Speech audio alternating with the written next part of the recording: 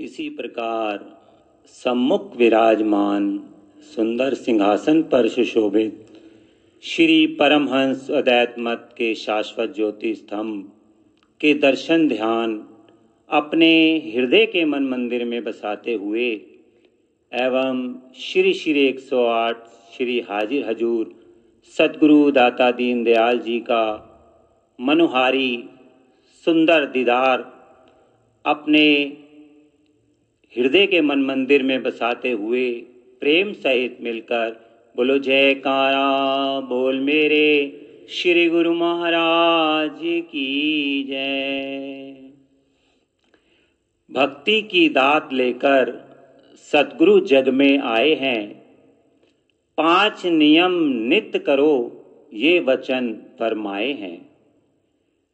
जो इन नियमों को अपनाए निष्दिन खुशियाँ पाएगा। लोक तो सुखी है उसका, पर लोक भी बन जाएगा।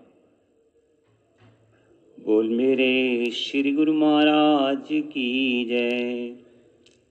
गुरुमुखो, जो महापुरुष रूहानियत की दात हम जीवों के लिए लाए हैं, उसका इस संसार में ना कोई मोल है, ना तोल है वो दात अनमोल है, क्योंकि वो महापुरुषों की कृपा से ही इस जीव को प्राप्त हो सकती है।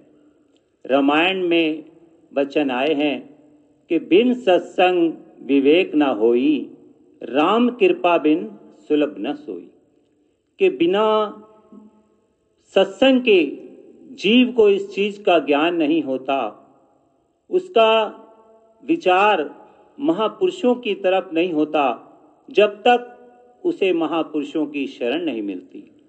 कि बिना महापुरुषों की कृपा के बगैर जीव को ऐसा सच्चा सरमाया जो भक्ति का, हमें इस वक्त परम दयाल महाराज जी की कृपा से हाजिर हजूर सदगुरु दाता दीन दयाल जी बख्श रहे हैं, वो कितनी अमोलक दात है, जो कि हर समय नित्य प्रति महापुरुष हमें ये दात देकर हमारे अंतर हृदय को किस प्रकार से प्रफुल्लित कर देते हैं, ये भक्ति की दात ही है जो जीव को इस संसार में भी सुख और आनंद प्रदान करती है और परलोक में भी संग साथ रहती है।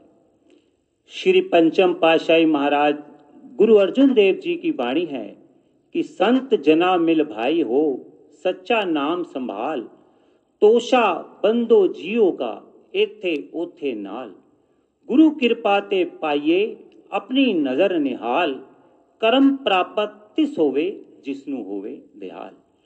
महापुरुषों की शरण में आकर ही जीव को इस चीज़ का विचार आता है कि संसार में वो किस लिए आया है? जो नाम भक्ति की कमाई करने के लिए और नाम के धन को एकत्र करने के लिए संसार में आया है। जब संतों की शरण में आता है, महापुरुषों की कृपा को प्राप्त करता है तो वो नाम के धन की कमाई करता है, जो कि इस संसार में भी सुख और आनंद प्रदान करता है, जीवन में सुख और शांति प्रदान करता है और परलोक में भी संग साथ रहता है। इसीलिए महापुरुषों ने फरमाया है कि गुरु पूरे ते पाइए, अपनी नज़र निहाल। इसीलिए महापुरुष जो हमें अपनी दिव्य दृष्टि से निहाल करते हैं, हमारे को हर समय आशीर्वाद देते हैं तो वही एक ऐसी दात है जो जीव की इस लोक में भी और परलोक में भी संग साथ रहती है। ये कर्म कब मिलता है जब जीव महापुरुषों की शरण में आता। महापुरुषों के आज्ञा मौज में चलता है, उनके वचनों के अनुसार कर्म करता है, तभी उसे ऐसा सौभाग्य प्राप्त होता है, जो कि हमें इस वक्त हमारे सदगुरु दाता दीनदयाल जी की कृपा से प्राप्त हो रहा है। यही एक ऐसी सच्ची दात है, जो महापुरुषों की कृपा से प्राप्त होती है। तो गुरुमुखो, महापुरुष दिन रात हमें ये रूहानियत की दात दे रहे हैं। हमारा भी फ़र्ज़ है कि हम महापुरुषों के नियमों की पालना करें। भक्ति की दात से अपनी झोलियाँ भरें। एक बार हमारे पूजनीय महात्मा जी, श्रीमान शब्द प्रेमानंद जी ने वचन फरमाए थे कि इस जीव को नाम भक्ति की जो कमाई का अवसर मिला है उसमें नाम में कितना परिपक्व होकर इसको बैठना चाहिए। जैसे पुराने जमाने में जब इंजन चलते थे तो उसमें पानी डालते थे और पानी डालकर जब उसको चलाते थे तो पानी बहुत खोल जाता था, तब इंजन स्टार्ट होता था।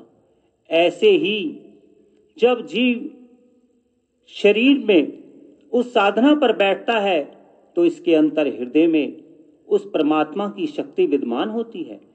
और जितनी जितनी अनंत कृपा को प्राप्त करता है तो उतनी उतनी महापुरुषों की वो अनंत दात इसको प्राप्त होती रहती है।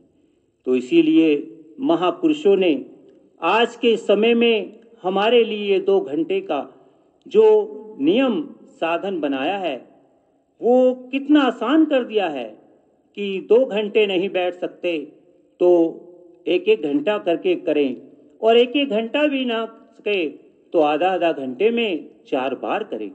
तो ये कितनी महापुरुषों की कृपा है कि आज भक्ति के साधन कितने सुलभ और आसान कर दिए हैं, जिससे हर गुरमुख, हर जीव उसको प्राप्त कर सकता है और महापुरुषों की कृपा को प्राप्त करके अपना ये लोक भी सुखी कर सकता है और परलोक भी सुहेला बना सकता है।